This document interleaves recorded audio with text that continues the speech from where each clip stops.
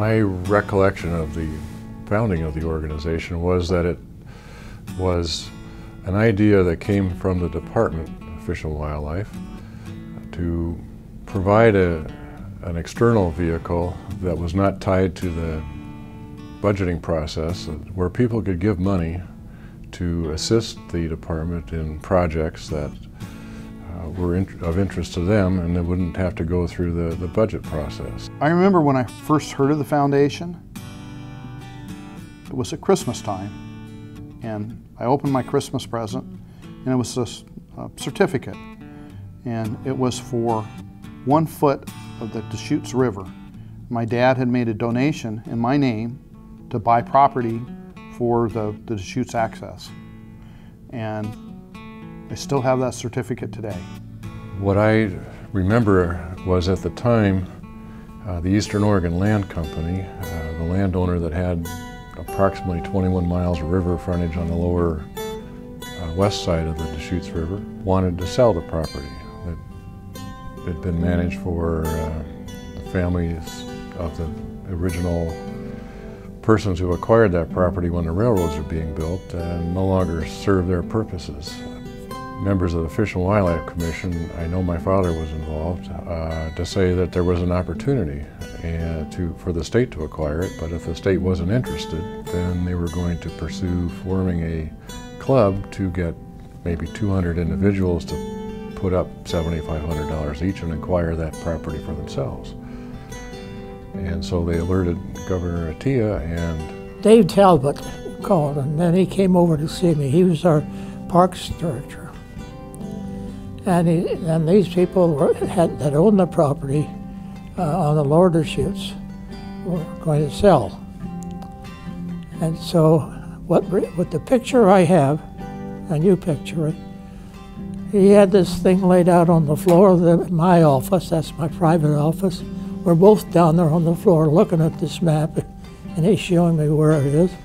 The Department of Parks and the Department of Fish and Wildlife were both significant contributors to the acquisition price, but uh, we still had about a million and a half dollars to raise from the outside public. And immediately we, we met, formed a plan how to raise that money and went to work raising it. All of these folks got all excited and they all came together and all of a sudden there was this new word that I had heard about and that is Oregon wildlife. But we were all together, all of us were raising money and, and, the, and the, that's how it all got going. And it was the most exciting and fun thing I went through. Of all of the stuff that I did as a governor, well, maybe getting sworn in was pretty good, but. Starting in uh, late 1993 and, and uh, 1994, uh, the Oregon Wildlife Foundation, Heritage Foundation in those days, now Oregon Wildlife, uh, was approached by the Oregon Department of Fish and Wildlife to help promote, participate in, and fund a project that was a uh, turned out to be a multi-year, multi-million dollar project entitled the North Coast Salmon Restoration Habitat Project to help fund uh, a number of fish biologists who would actually go out into the rivers and streams and map out critical uh, habitat areas, both in stream and riparian, where improvements could be made. Uh, so we took this as a challenge and our, we had two major hurdles we had to overcome. One, we had to get the uh, full cooperation and participation of all the major timber companies in Oregon because so much of the land where these rivers and streams were was on their private land. The second hurdle was getting multi-year major funding, hundreds of thousands of dollars. And we found that source back in Washington, D.C. of all places with the National Fish and Wildlife Foundation, NFWF. Then this ultimately morphed into what has now come to be known as it was originally the Governor's Salmon Plan, then it was the Oregon Salmon Plan, and now it's uh, I guess the official title would be the uh, Oregon Plan for uh, Salmon and Habitat or Watersheds. I remember going to Diamond Lake in the late 50s, probably around 1958 with my dad. And I remember my dad helping me cast a fly and catching trout that were probably 14 to 16 inches long. And one of the things about the trout in Diamond Lake is they're, they're really stocky, they're really heavy for their length. In fact, when you, you talk to a fisherman around the state and you're describing a really stocky fish, if you say it looked like a Diamond Lake trout, they know what you mean. So over the years, um, people used bait fish to fish in Diamond Lake, and eventually Tui chubs got established in the lake, and gradually they uh, overtook the entire environment, uh, basically destroying the lake. It was no longer a, good fishery, the water quality was poor, and um, it was a, a problem. So the Department of Fish and Wildlife wanted to treat the lake, and uh, they asked the foundation if we would help raise funds for that purpose. So uh, we put together a statewide fundraising effort and uh, we were able to raise $1.4 million uh, to help with that program. And so I'm really pleased to say that, that since the treatment and restocking the lake, it's returned to a really incredible fishery again. An opportunity like this can come along again.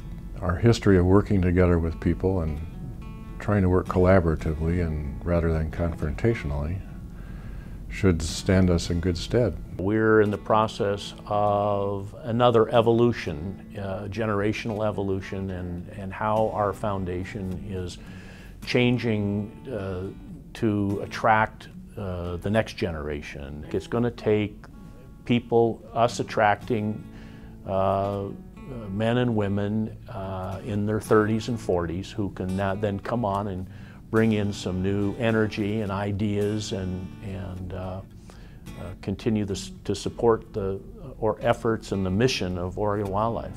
One of the things I'm really excited about is our investment in building a social media community. Uh, and that is in response to several things. One of them is a recognition by our board uh, that we need to grow uh, our audience. We need to be accessible and open to as many people as possible uh, in terms of their interest in learning about and then ultimately their support for uh, Oregon wildlife and, and, um, and Oregon wildlife habitat. So for example, when it comes to social media, just to, to illustrate uh, how powerful a tool it can be, with one single post, a bear post that we put on our Facebook page, we reached 3.4 million people. Uh, the population of the state of Oregon is just under 4 million people. So, you know, with one post, we reached almost the equivalent number. In addition, that same post was uh, commented on by 142,000 people and it was shared uh, by 30,000 account holders. So that's uh, an amazing illustration of what uh, one, even one single post on Facebook can do. there are plenty of places in Oregon that could use our help. We help restoring them, uh, rehabilitating land or maybe we can acquire a strategic piece of property uh, or help the state acquire one because the foundation doesn't hold property itself um, to help put back this beautiful state that we have uh, in a better condition than it is now. Oregon is really an incredible state. We have a tremendous variety of fish and wildlife throughout the state. You can get in your car and drive for a couple hours and you can be in a totally different climate, different geography with different wildlife species. And those are things that we can all enjoy and we should all support. Oregonians are very good. Oregonians are, are very willing to give for their cause. And we've got a lot of good causes. The Oregon that I want to live in is an Oregon that has uh, an abundance of wildlife, a diversity of wildlife um, that everybody has an opportunity to enjoy, regardless of how. And in order for us to get there, we need everybody to not, not just um, think about that, but, but actually have a meaningful conversation about it and take action on the basis of, of their beliefs. And I think Oregon Wildlife uh, can help be the vehicle for that conversation and uh, for that investment.